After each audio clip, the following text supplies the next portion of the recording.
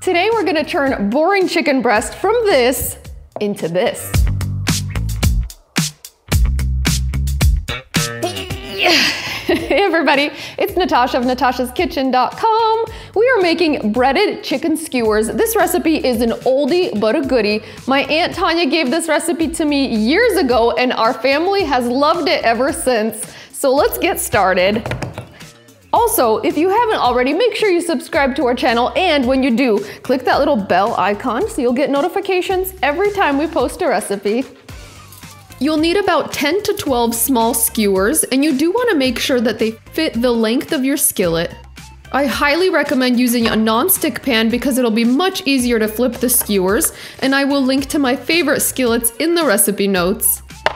To start, you'll need 2 pounds of chicken breast. You'll want to cut those up into bite-sized pieces, each about 3 fourths inches wide. The easiest way to do that is to cut the chicken breast into 3 quarter inch wide strips, then cut each of the strips into smaller pieces. Transfer your prepared chicken into a large mixing bowl. Here's a quick kitchen safety tip. Anytime you're handling raw meats, make sure to wash your hands and thoroughly clean any kitchen surfaces that touch the meat. Season the chicken with about a teaspoon of salt, half a teaspoon of black pepper, and I like to add a teaspoon of Mrs. Dash, but you can use your favorite salt-free seasoning.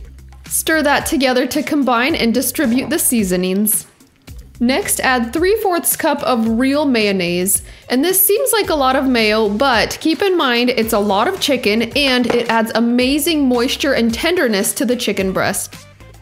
Now, if you're in a time crunch, you can bread and saute them right away, but I find they're more flavorful and more tender if you refrigerate them for an hour. And if you prefer, you can even marinate it overnight. Once the chicken is done marinating, it's time to start skewering. I do like to use a pair of disposable gloves for this process because it can get a little bit messy. I'm putting about four pieces of chicken onto each skewer, leaving a little margin at the top and bottom of the skewer. You want to have a little bit of a serving handle once these are all fried up. Skewer the chicken first and arrange them on a platter. Now it's time to add the breading, which will give these a crispy and golden exterior. Add one cup of Italian style breadcrumbs to a medium casserole dish. I love using the Italian style variety because it adds more flavor to the skewers. Roll the skewers in the breadcrumbs until evenly coated, then transfer them to another platter. Breading them two at a time can make the process just a little bit faster. Once you're done breading all of your skewers, it's time to fire up the stove and saute these. Place your large non-stick pan over medium heat. You'll want to add enough oil to the pan to generously coat the bottom. I'm using a light olive oil, but you can use any high heat cooking oil that you like.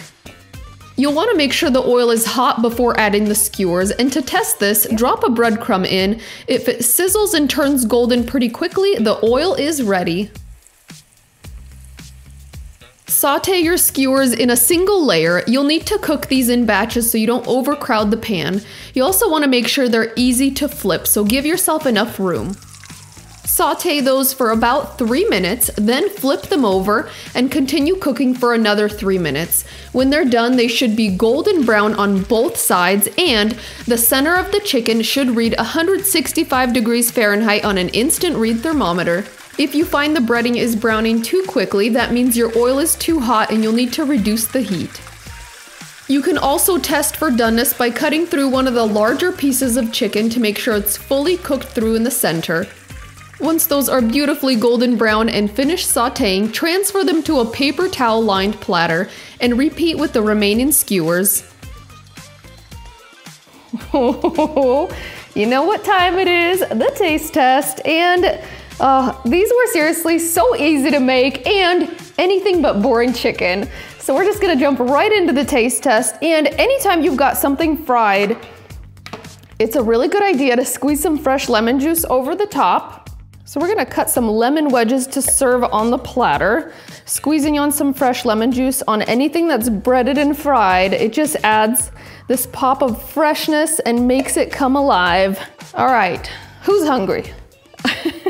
We're gonna get right into this. Okay, I'm gonna transfer these to a platter. And these are so perfect for parties. You can totally make them ahead. You can pre-marinate the chicken overnight and it'll be even more delicious. Okay, so just get them on a platter and serve these at your next party and they will disappear fast. These are always a hit and the kids especially love them. I mean, they're crispy chicken on the outside and then so juicy on the inside because the marinade really seals in the juices and it makes the chicken super flavorful as it marinates in the fridge. These are a must try. You make these once and you make them over and over. And if you have some leftovers, if you're lucky enough, they're also really good reheated for lunch or you can even enjoy them cold. I'm gonna get some fresh lemon juice squeezed over the top and it's time to enjoy.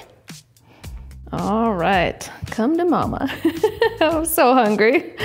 All right, so when you're cooking all day, you work up an appetite, okay? And this is the cook sample, that's what we call it. So we're gonna get right into this. Here we go. And I do like to eat it right off the skewer and it just looks so cute on the plate. But if your children or dinner guests cannot be trusted with a pointy skewer, you can take them off the skewer and then you've got like little chicken nuggets that are cute too, okay? All right, taste test, here we go.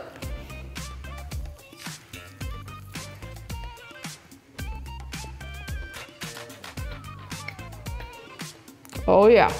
Mm-hmm. Mm. This totally hits the spot. I love that it's crisp on the outside and wow, super juicy, tender, and flavorful on the inside. That mayo and seasonings actually add a ton of flavor to this. And then I love that little splash of fresh lemon juice over the top. It's such a treat. If you've never tried that on fried food, you have to have to try it. All right, now I'm really hungry, so I'm gonna go eat as much of these as I can fit and share with my husband, of course. I hope you guys enjoyed this video. Also, if you guys spotted Sharky in the video, let me know in the comments what point of the video you saw him. And I hope you guys love this recipe and that it becomes a new favorite for you. We'll see you in our next episode.